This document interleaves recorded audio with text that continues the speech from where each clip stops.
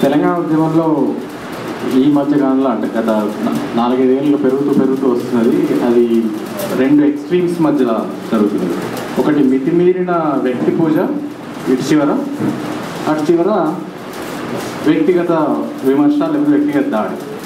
మనం ఇటు చివరిన ఉంటాం లేకపోతే ఇటు చివరిన ఉంటాం. ఈయననే దిక్కు ఈయన తప్పితే ఇంకో దిక్కు లేదు అనే ఒక సెక్షన్. లేదు ఆయన పొందబెట్టేసేస్తే వచ్చేస్తుంది అనే సెక్షన్ ఈ రెండింటి మధ్యలో ఆసిలేట్ అవుతున్నాం మనం. అది ప్రాబ్లం నాకు అర్థమైనంత వరకు. ఈ రెండింటిని వదిలేసి ప్రజలను నమ్ముకుంటే తప్పకుండా తెలంగాణ వస్తుంది. ఈ చివరిని నమ్మాల్సిన అవసరం లేదు ఈ చివరిని నమ్మాల్సిన అవసరం లేదు. ఒక చిన్న ఉదాహరణ చెప్తా. మొన్న ముప్పై తారీఖు నుంచే ఉదాహరణ చెప్తా. ఎందుకు నమ్మాలి ప్రజల్ని?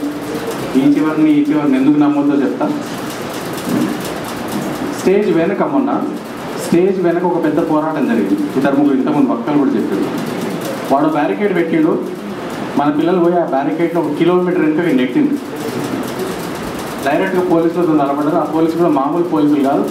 మనకు తెలిసి ఇప్పుడు ఇవాళ తెలంగాణలో మనల్ని కంట్రోల్ చేయడానికి వచ్చిన పోలీసులు ఎట్లా ఎట్లాంటి ప్రొటెక్షన్తో వస్తున్నారు? పైనుంచి కింద వరకు ఒక యుద్ధానికి సంబంధమైనట్టు వస్తున్నారు. అట్లాంటి పోలీసులను చూసి కూడా భయపడకుండా మన పిల్లలు ఎవ్వరు కూడా వాళ్ళెవ్వరు ఇక్కడ వచ్చిన వాళ్ళు అంత చదువుకున్న వాళ్ళు కాకపోయి ఉండొచ్చు. కానీ వాళ్ళకు ఒకటి ఉన్నది. తెలంగాణ కోసం ఒక ఒక యుద్ధం చేయాల్సిన అవసరం ఉండదని వాళ్ళకి అర్థమైంది. ఆ యుద్ధం చేసేది.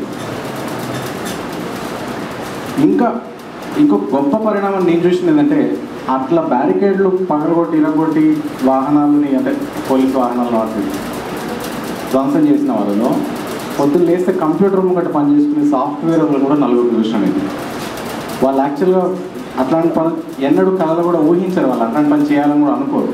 కానీ అక్కడికి వచ్చినాక అక్కడ ఉన్న వాతావరణం అట్లాంటిది. అగో ఆ వాతావరణం ఇవాళ ఉన్నది మనకు. రెడీగా ఉన్నారు ప్రజలు. మనం ఒక పిలిపిస్తలేం అంతే. పిలిపిస్తే ప్రజలు దేన్నైనా చేయడానికి రెడీగా ఉన్నారు. ఆడ అక్కడికి వచ్చిన జనం లాంగ్ మార్చ్ కూడా సిద్ధంగా ఉండే. వాతావరణం అనుకూలించలేదు. నిజంగా దురదృష్టం అది మనది ఆ రోజు కానీ.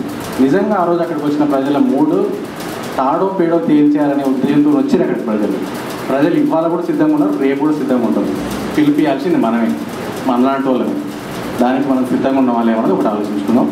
పిలిపిద్దాం ప్రజలైతే ఎక్కడ దాకా పోవడానికి సిద్ధంగా ఉన్నాం నేను మొన్న చూసిన ఆ పట్టుదలని అవన్నీ నేను చూసిన ప్రజల్లో ఫస్ట్ హ్యాండ్ ఆ ధైర్యంతోనే చెప్తాను కంప్యూటర్ మీద వచ్చాడు కూడా వచ్చి బ్యారికేడ్ లేకొట్టి వాహనాలు నిలబెట్టడానికి సిద్ధమైందంటేనే అర్థం చేసుకోండి ప్రజలలో మూడెట్లు జై తెలంగాణ.